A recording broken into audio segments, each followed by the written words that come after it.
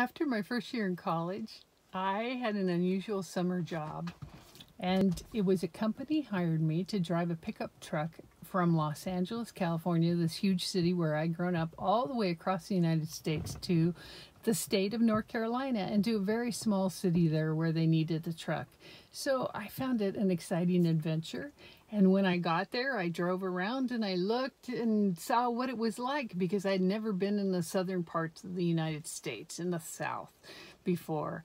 And I it, it, was just a delight. And then in town, since I was a new Christian, I spotted a church where I could go to church the next morning. It was really painted brilliantly white, made out of wood. It had a steep roof and a steeple.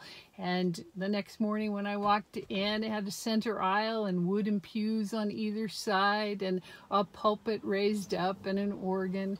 So I made myself uh, comfortable that midway down the aisle. Of course, I was wearing California casual jean skirt, probably nothing appropriate for that a southern lady would wear to church, but what did I know? And I looked around to see who was there and what kind of people. And so I noticed in the very back a woman who looked differently than anyone else there. And later that night, I was so intrigued by her that I wrote a poem that I'd like to share with you. And it goes like this. There she was again, second pew from the door, a back row Baptist. Hands, white gloved hands folded in prayer position. A pink pillbox hat perched on top shredded wheat hair.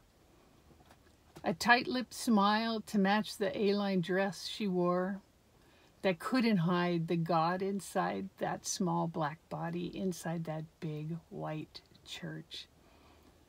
Now, I didn't have the opportunity to talk to this woman because when I turned around, I was distracted talking to someone else, and I, didn't have the opportunity to find out more about her and her life and why she was the only black person in that church.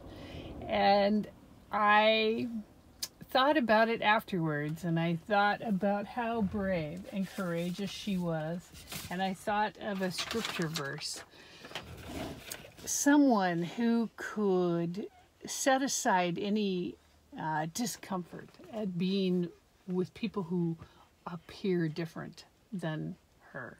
It's a great lesson to learn. And it reminded me that all of us are going through things that are so different than we've had to deal with before. It takes courage and bravery and fortitude to wake up each day and deal with life in this surge of COVID and during the pandemic.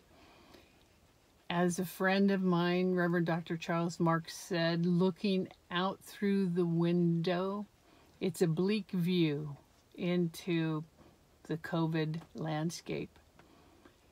It is indeed a bleak view.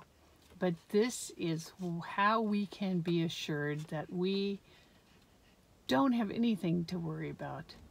Because the prophet Isaiah, speaking to those who were caught up in captivity in Babylon, says, From eternity to eternity, I am God. No one can snatch anyone out of my hand. No one can undo what I have done. Consider that we are kept in God's hand in the safety of God's palms. And we can't jump out, we can't fall out. No one could snatch us out of God's hands. And no one can undo what God has done. God in Jesus Christ has given his life for us so that we might be redeemed and transformed. And we can respond to that great gift by loving others and bringing comfort to them because the prophet Isaiah also says, Comfort, comfort my people, says the Lord. So glad that you joined me and thank you for being here with me on Spiritual Truck Talks. I hope you'll subscribe to my YouTube channel, Spiritual Truck Talks.